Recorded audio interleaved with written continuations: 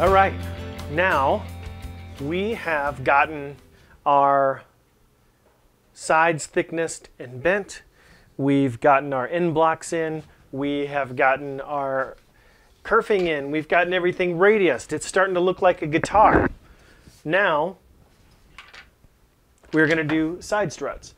Side struts are braces that go along the sides and they reach from one kerfing to the next and they span this gap. They go in here like this and their whole purpose is to stop, intercept, and interrupt any cracks that are going to happen. You'll see them typically on the flats, here, here, maybe one in the upper bout, maybe one more here, um, or three here, one here.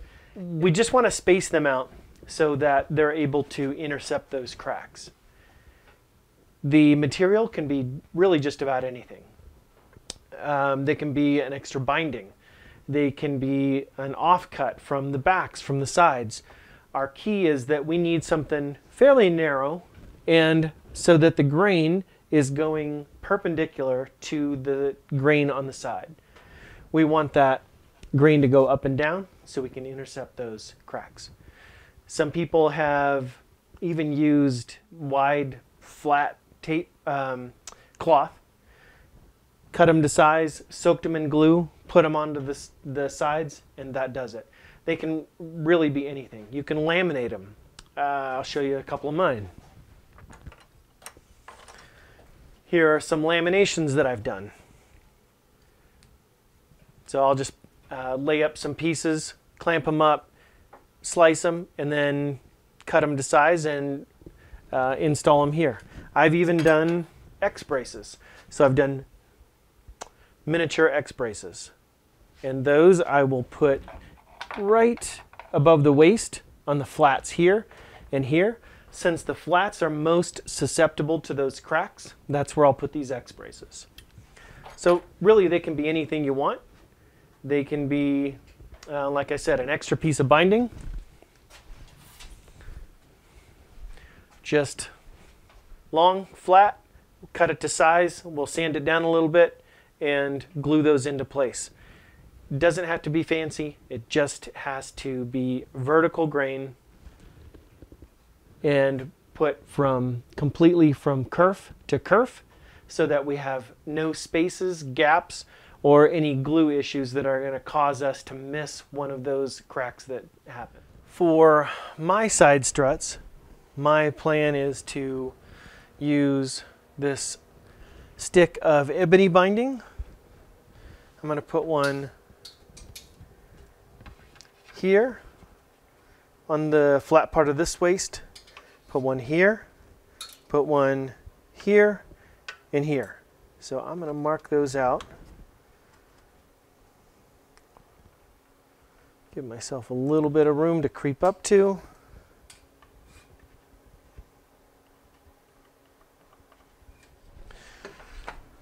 Just cut them with the uh, pull saw.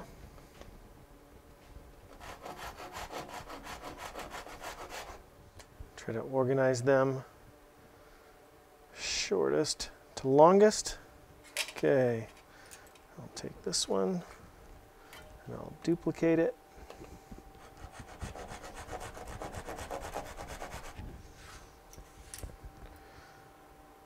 Duplicate this one. Now the ebony I like because um, it gives a nice contrast to the uh, all the woods on the interior, but it's also going to match my binding because I'm using ebony binding on this as well. I'm going to get them sanded to size here on the disc sander, put them into place, and then glue them in.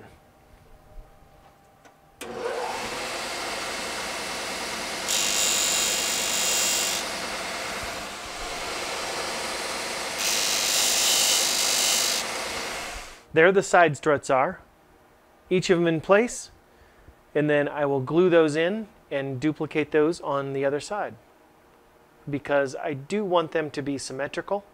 I'm going to get one side in first, measure, and then cut and sand and glue. So these are exactly where I want them. They are stuck into place. I don't think they're gonna move unless I hit this real hard. So I might as well take a look at getting the other side set up identically. One way that we could do it is we could take a like a cloth measuring tape, something soft to measure the sides. We could try and do some geometry like from this point to here to here to here. But really one of the easiest ways is to just count the number of kerfs. And if we start up here at the top where at the heel block, which is where we started our kerfing, we should end up almost identical on both sides. So for this first one, 1, 2, 3, 4, 5, 6, 7, 8, 9, 10, 11, 12, 13, 14, 15, 16, 21, 3, 4, 5, 6, 7. On the 27th one.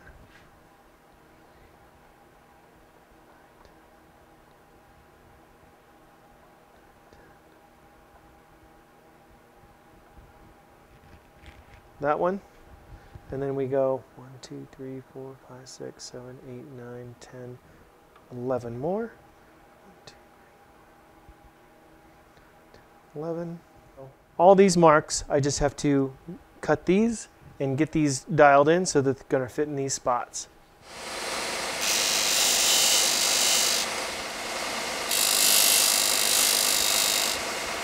Now I have all these fit into place what you really want to see is that when you press them into place, that they'll stay, that you kind of feel them squeeze in between the kerfing, um, the upper and the lower. And once that happens, you're and you're confident that they're going to stay, that they're in there pretty solid, and we don't have any gaps in on either side, then it's time to glue them up.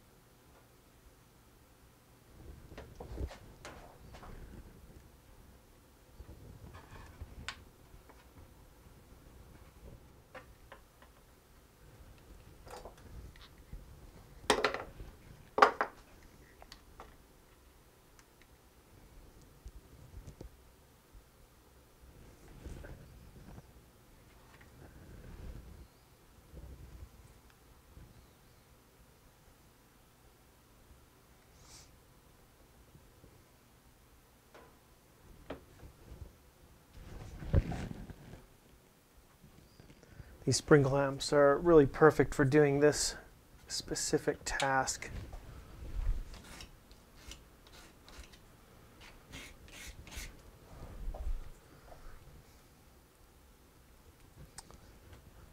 Make sure that you're gluing the ends of these as well.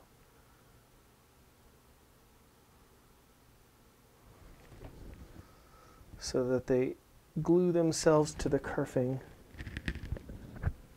We'll let these dry for a few minutes and then I will scrape the glue, all that squeeze out. I'll scrape that with the razor and then I will get the other side. Now I'm just taking the clamps off one pair at a time.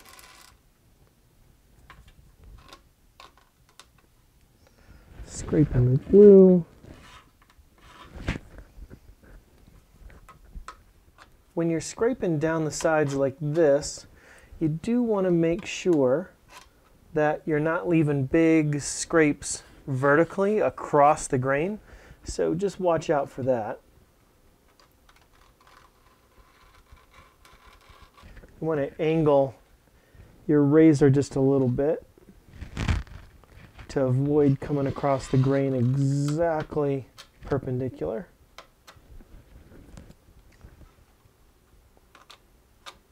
So I'll repeat this all the way around. And then we'll let the glue dry for about another 30 minutes and then take the clamps off. Now we are going to work on the end wedge. The end wedge is going to be the decorative strip that is going to cover these two seams uh, right on the end of the tail block. typically we want to match your end wedge to whatever you're going to use for the bindings. I am using ebony on my bindings, so I'm going to use ebony on the end wedge. Those bindings are going to come around here and they're going to tie into this end wedge and you can do a contrasting color, you can do something different, but it usually looks much better if they match and you've got a nice continuous color and pattern that's going to go the entire length there. Now we do call it a wedge. You can use a strip, you can use a straight strip, you can use an extra piece of binding if you want to cut this exactly the width of that. And if you think you can match that up, that's fine. And some people actually get super fancy and they can do all kinds of inlay work on here. Um, I've seen curves, I've seen boxes, I've seen uh, alternating kind of funky laminations, I've seen uh, inlay work that does a zigzag around it. You can do whatever you want. The wedge is going to be the easiest one to do because we can um, fit it in there the best, the easiest, and it's the most flexible. That's what I'm going to do this time, and that's what I recommend everybody else do. So let's lay that wedge out and see how this is going to work. We usually want to do the wedge so it has a little bit of a taper, not too much, and also we don't want to make them too big. If they're too big, they can start to interfere with that nice curve that we have here. So if it's if, if your wedge spreads this gap too far, it's going to have a hard time conforming to this. And it, it just looks a little goofy as well um, if, if that becomes too big. So not too big, not too small. We're to go medium. If you have a grain that you're trying to follow, you can certainly figure out where that's to orient. In this piece on my ebony, grain's pretty straight. There's not much we have to worry about. So what I want to do is just give myself a straight line that we're to use as the center line. And I'm going to come off of one of these sides. Somewhere in the middle, doesn't have to be perfect. Uh, let's go right here. That didn't help.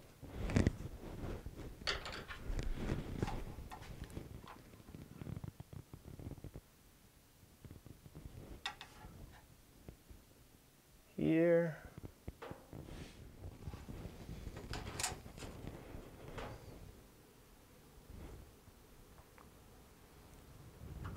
Okay, now I got my center line.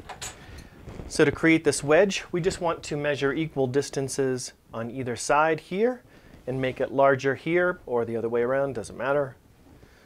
For this, I want to start out pretty narrow I'm going to go five millimeters on each side. And then up here, I'm going to go 10 millimeters on each side.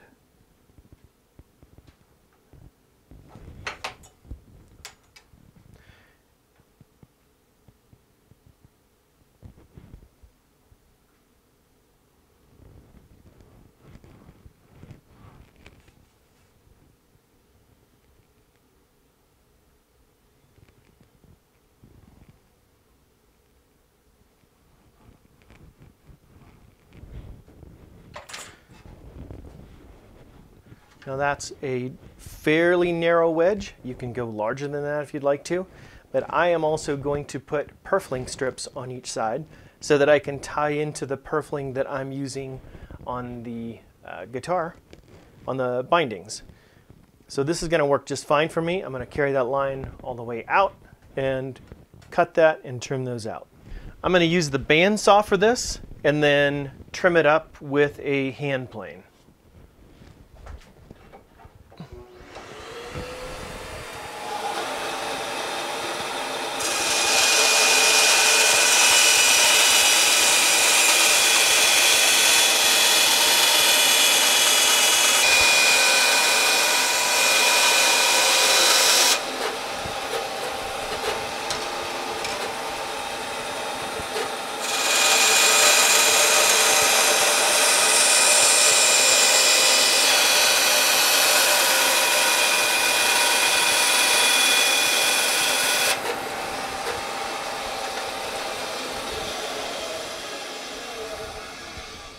Trim this off a little bit. It's a little bit narrow down here. I don't need quite that much um, height on this. To trim this up, I am going to use a shooting board. Now to call this a shooting board is a little bit of an insult to shooting boards everywhere. Um, this is not squared up. This is just simply meant to provide me a little bit of um, an end here that I can plane up against. It's got a little bit of, it's got a little bench hook on it. It's got um, this board to push up against. That's it.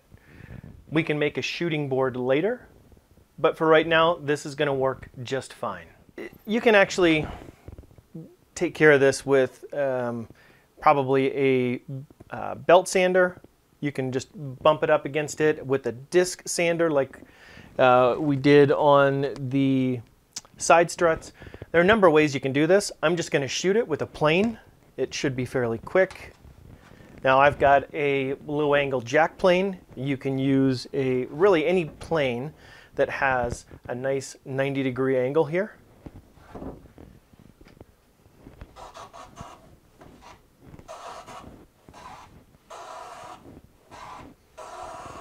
I'm just going to try to go up to that line that I made. Line wasn't too crisp, uh, but that is pretty good. Let's see how close we can get on this side.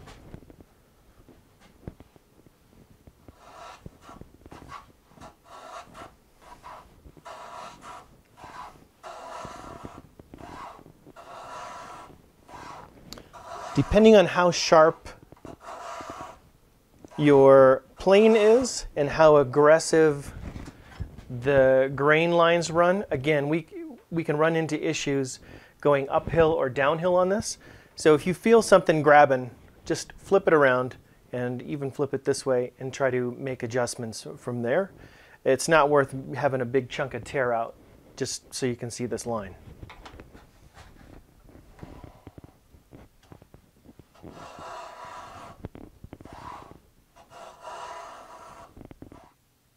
Yeah, that's about even there. So now we can use this center line to line up on the guitar itself. We should be in good shape. Before we cut the wedge out of the guitar body itself, we just need to re-mark the center lines because we got rid of those during the radiusing process. Again, we are 76 millimeters wide on the block, so we need to go to 38.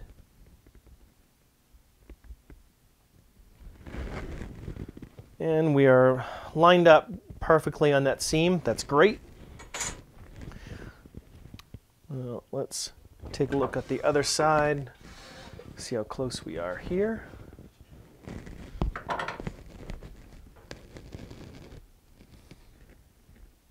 76, 38. All right. Yeah, that's great. All right. In this case, I am going to see if I can mark this. I don't know that it'll make much of a difference. We are pretty much right down the line.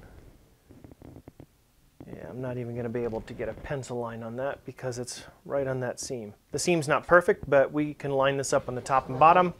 Well, let's establish top and back. This is my top, this is my back. So on the top of the guitar, do you want the wedge to go this way or this way? It's really up to you. It's a design preference. I like mine to have the thicker part of the wedge on the towards the top of the guitar, but it doesn't make a big difference. Either way, it's up to you. Now, we want to use the wedge itself to make the mark on the guitar. I'm going to grab a couple of spring clamps. What I want to do here, making sure that I remember which way is the top, which way is the bottom, is I am going to line that wedge up like this so that I can see the center line on the wedge and the center line on the block.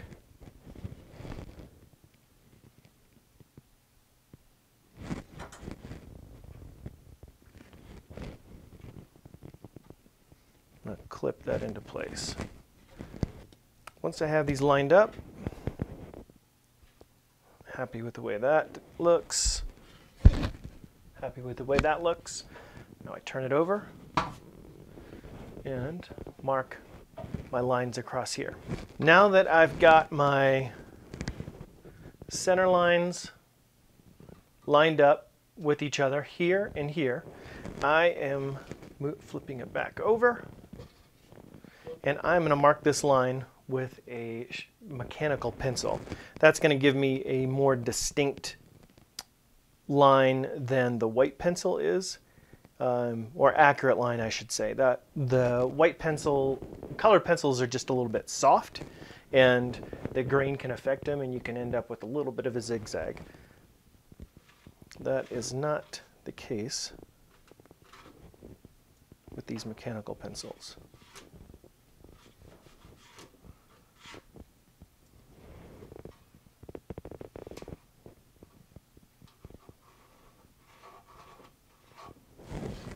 I have clamped this extension board off of my bench so that I can slide the guitar body over the end so that we can work on this on a stable surface so and not damage the guitar itself. What we want to do is for these cuts I like to use this uh, Japanese Dozuki saw.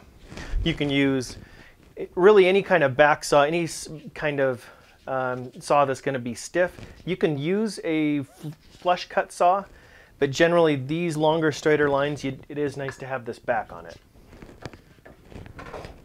Dovetail saw, crosscut saw, any of those will work. And what I'm doing with this, folding this piece of sandpaper over, putting it here, so that I get a good grip on this piece of wood that I'm using as my saw guide. Lining that, that up on the line.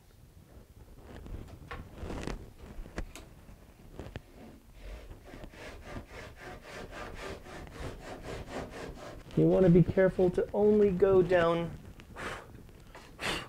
to the block itself, just through you don't want to cut too much into that block.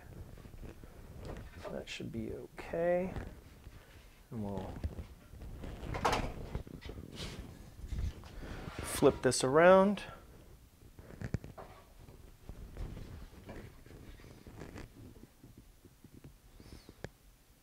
And I flip that around because I want to protect the part that we're going to keep.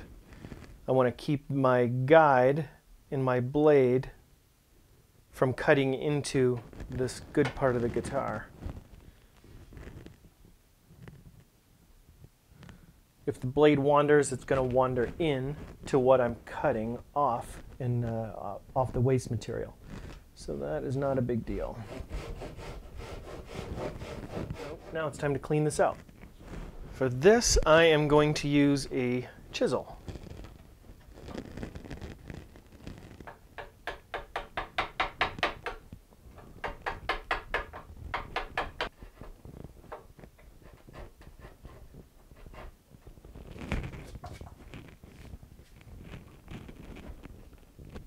And right about here is where I'm going to stop because if I continue out this way, I could blow the top of this out. I don't want to do that. So let's slide it around, work from the other direction.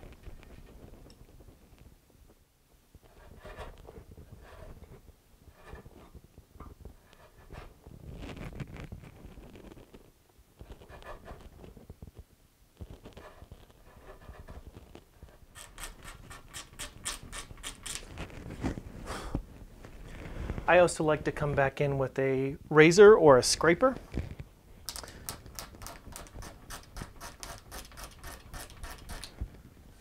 and try and make sure that we've got rid of this glue so we can expose the bare wood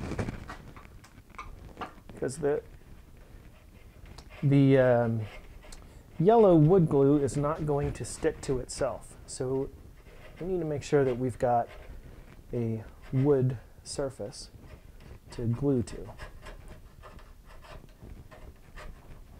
Now I've got this wedge pretty much cleaned out and just to do a test fit, well, if I was only doing the wedge, I'd be in trouble, but I accommodated for that. I wanted that deeper because I need to put these purfling strips in. So one on each side. Let's see.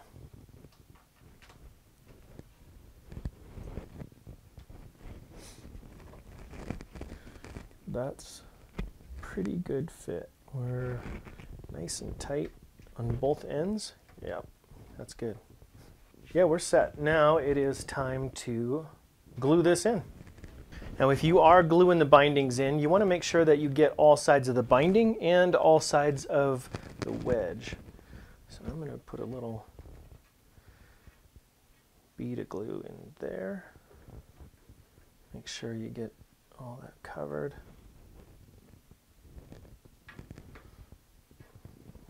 Bead of glue on the other side of it. Same thing for this.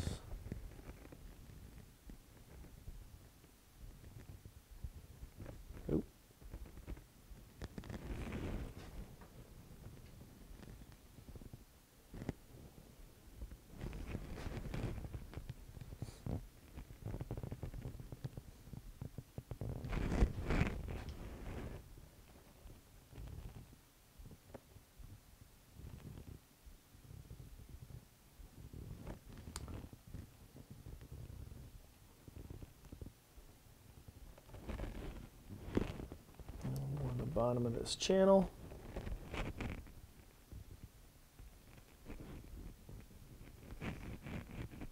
Spread that all out. Great. That might be a little too much. Take some of that.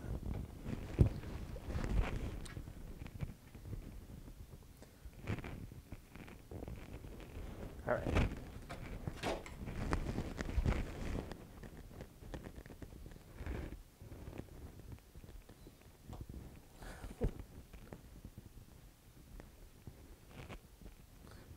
Go. Now the nice thing about the wedge is that it, for the most part, if you wedge that in there nice and tight, it's pretty much self-clamping. It's not really going to move, but I'll put a couple of spring clamps on it just to make sure. After I push this purfling down into that channel, the glue makes it want to raise up a little bit.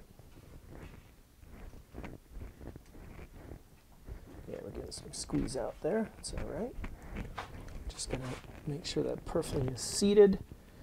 Otherwise, when we sand it, it is quite easy to sand straight through the purfling if it's sitting proud. We do not want to see that happen. Yeah. Okay. Cool. Like I said, that wedge is holding it in place just fine spring clamps just for a little insurance. And we'll let it sit there for 30 minutes or so. Come back to it and scrape it down. All right, we've gone about a half hour. I have taken the spring clamps off and I'm just getting started um, to clean this off. I cleaned out, cleaned off some of the glue squeeze out just with this razor, being very careful not to hit these sides cross grain and tear things out. Um, I am going to cut these off a little bit shorter.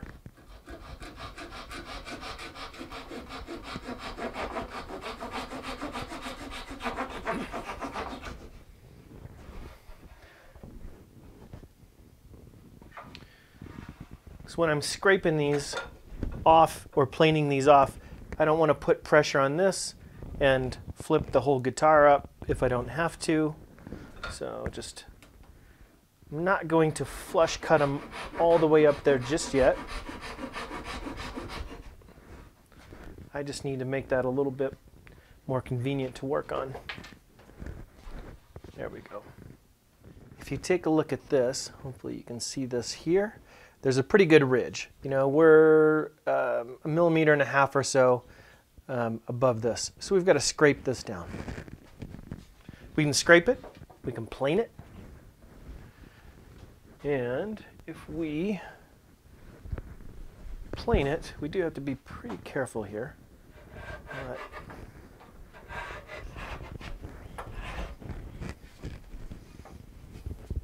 getting closer for sure. Uh, I would try not to sand this just yet. Sanding is going to wear this pretty unevenly and especially if you use a, a random orbital, uh, any kind of power sander, we definitely don't want to do that because it can do get things uneven. We can put a hole in it, we can round off the edge. All kinds of bad things can happen. I would stick with even a, a razor to use as a scraper.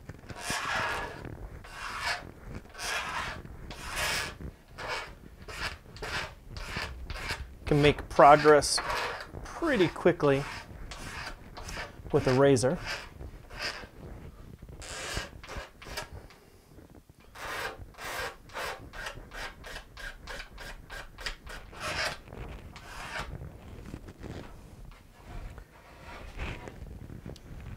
One of the other issues with the sander at this point is that we've got grain in different directions. And if you try to sand this block down with this grain, you're going to end up with cross grain scratches here. And if you try to go across this way, it, they're just the, the grain direction already is going to be trouble with a uh, sander. So tr just try to use a cabinet scraper, razor, plane,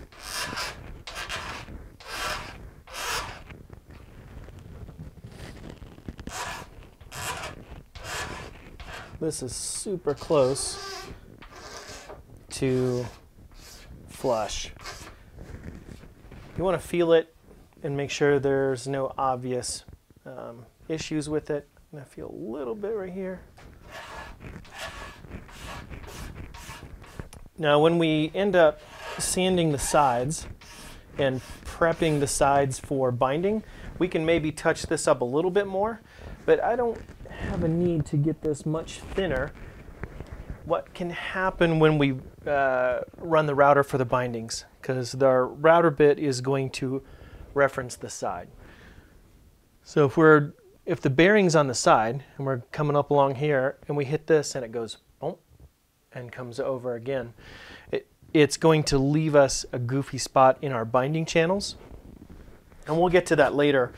But really now is the time to take care of this end wedge. So I think right now I will just flush cut it off.